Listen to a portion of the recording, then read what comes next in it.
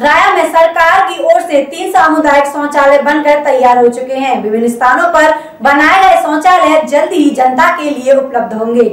स्वच्छ भारत मिशन के तहत कस्बा राया में नगर पंचायत द्वारा सामुदायिक शौचालयों का निर्माण कराया गया है, जो जल्द ही आम जनता की सुविधा के लिए खोल दिया जाएगा।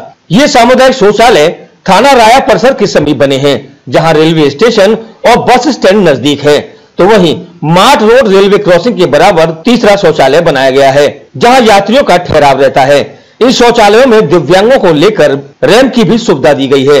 नगर पंचायत अध्यक्ष प्रतिनिधि राकेश शर्मा ने बताया कि जल्द ही ये शौचालय जनता के लिए उपलब्ध होंगे। जानवर किस तरह की जन सुविधा का शुभारंभ किया जाएगा?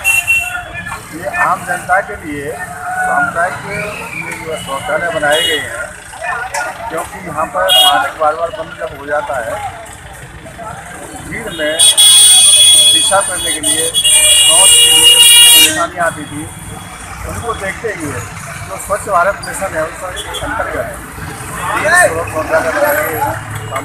उसमें अभी आज हमने देखा, जो रंग है, सारे गाँव से छोटे से हाथियों को लाचार होते हैं, उनके लिए हमने एक स्लिप भी बनवाई है, तीनों जगह, ताकि उनको परेशानी न हो।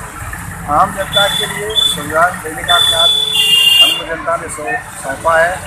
सेवा ही हमारा धर्म है, सेवा ही हमारा कर्म है।